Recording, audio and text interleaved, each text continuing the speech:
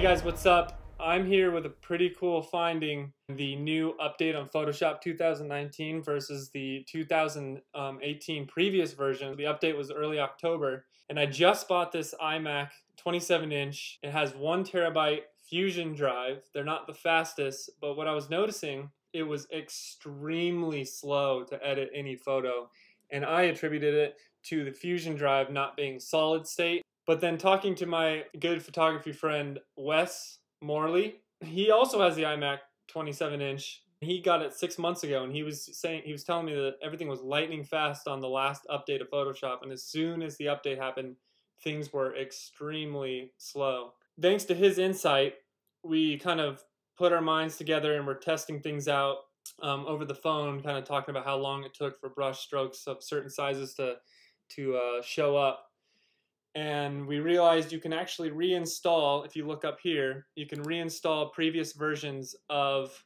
Photoshop by just with this drop down box here and going to manage and then there's other versions. And you can download any previous version of Photoshop.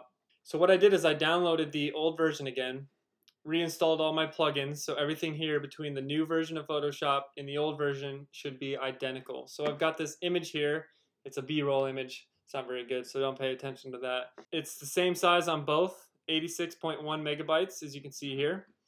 So I've got the same image uploaded on both um, versions of Photoshop, and I wanted to demonstrate today with a white brush at a pixel size of 2000 on both versions, the difference in speed between the two. So we'll start with the uh, previous update. If I just try to paint the entire image white, all the way from top to bottom, you can see the lag is very minimal. I also want to mention I have 8 gigabytes of RAM, so it's stock, it's very low.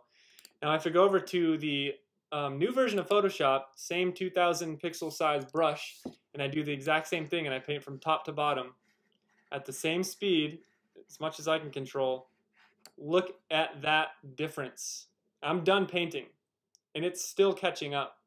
I even got the Wheel of Death, and it didn't even catch all the brush strokes. It missed here, and it missed here. And that's about an eight second lag between these two. It's still trying to catch up. My brush is now frozen on the screen. Thank you, Adobe Photoshop 2019, for proving my point. So once this program finally catches up, there's also artifacts where you get these boxes that we just saw there. Let's try a couple other things. I'm going to unlock this layer. So let's go ahead and make a copy. And then we'll make a merge visible.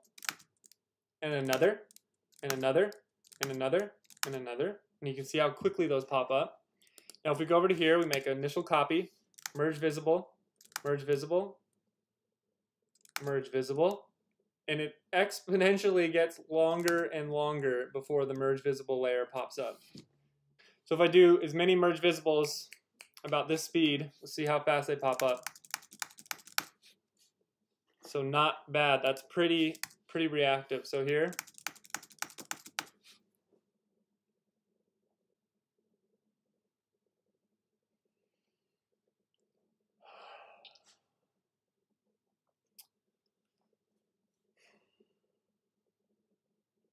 Okay, it's done.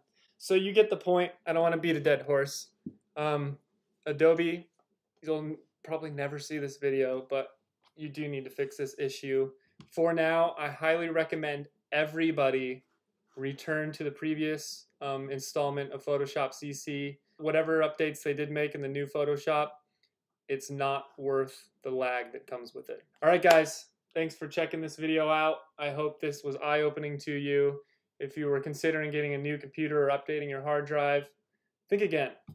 All right, see you later.